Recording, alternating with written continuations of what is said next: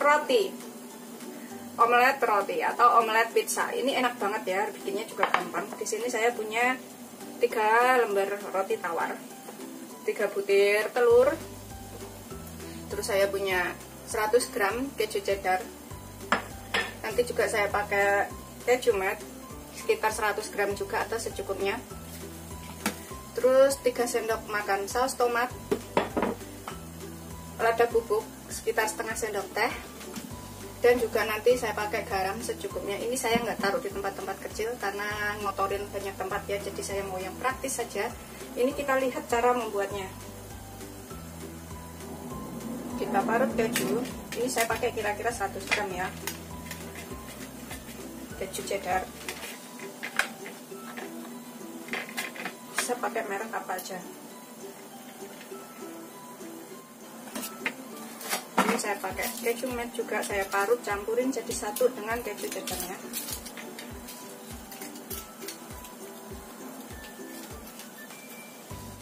setelah selesai ini kita sisihkan dahulu. Ini saya lupa sebutin nanti saya pakai cabai merah satu yang besar cabai hijau satu. Boleh diganti cabai paprika ya tapi ini saya pakai cabai merah besar aja sepunyanya. Kalau punya paprika pakai paprika bisa kita buang isinya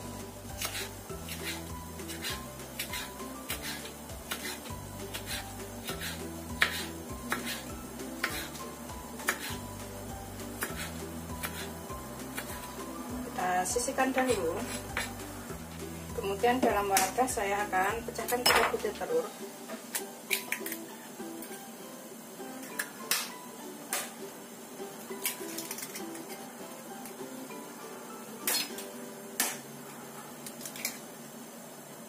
Kemudian kita tambahkan sedikit lada di telurnya.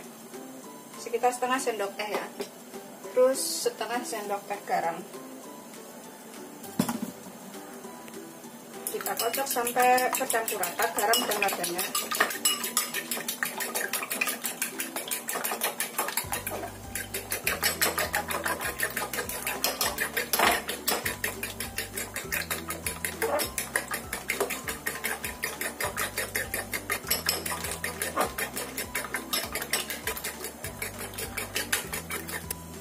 ini kita panaskan teflon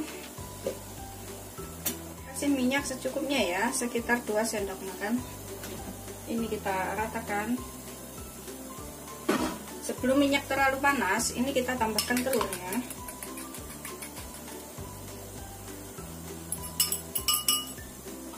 Seperti ini. Kemudian kita tambahkan rotinya yang sudah kita potong-potong. Ini kita atur saja ya supaya ngepas potongannya. Seperti ini.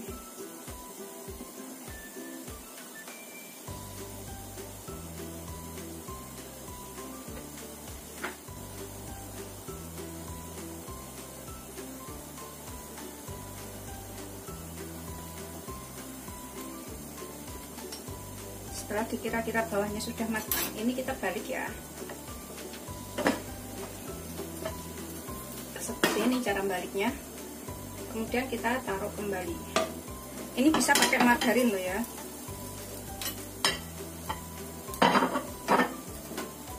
Bisa menggunakan margarin gunakan api kecil saja. Ini kita olesin dengan saus tomat. Saya pakai 3 sendok makan. Olesin sampai rata gunakan api kecil saja agar rotinya nggak kosong.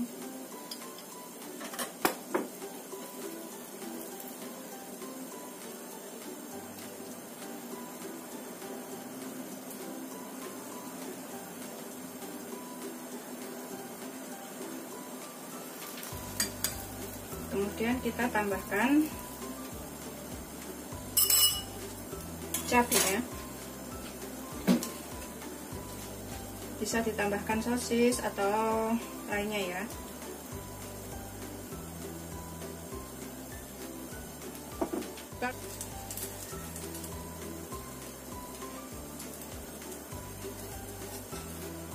Seperti ini. Kemudian kita tambahkan mozzarella-nya. Kalau ada oregano bisa ditaburkan oregano di atasnya. Kecumat yang saya campur segini. Campur seperti ini ya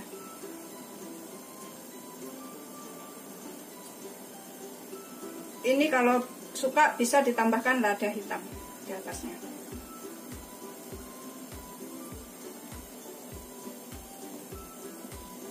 Ini kita ratakan.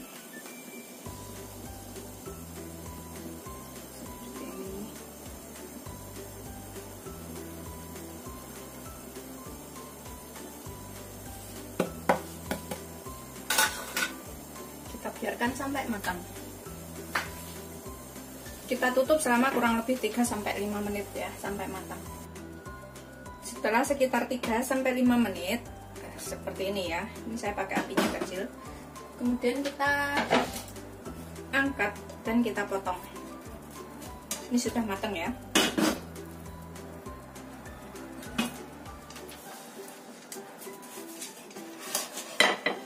Seperti ini hasilnya.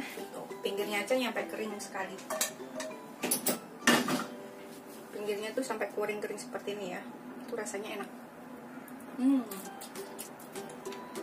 Enak banget. Paprikanya juga sudah matang. Ini nggak perlu dimasak setengah matang dulu. Paprikanya sudah matang ya. Seperti ini hasil akhirnya omelet pizza.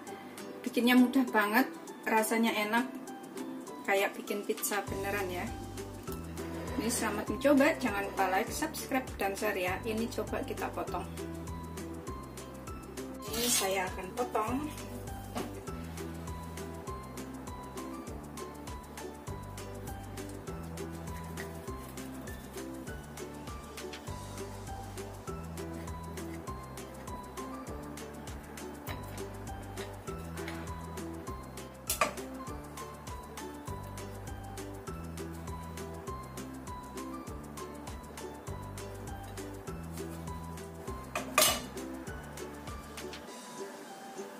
Seperti ini hasilnya.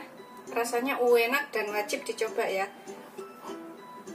Seperti itu. Aku makan ya. Makan segini sepotong. Ini kalau saat segini aja aku tuh masih kurang sebenarnya. Bismillahirrahmanirrahim. Rasanya tuh enak banget dan sininya itu rasanya tuh enak banget. Sininya itu tipis seperti itu ya. Terus kejunya itu buahnya. Ini bisa buat sarapan. Hmm. Beneran enak banget.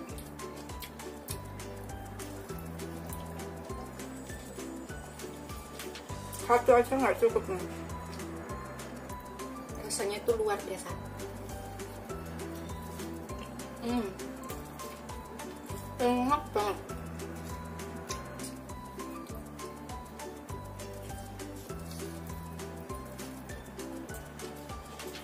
Enak banget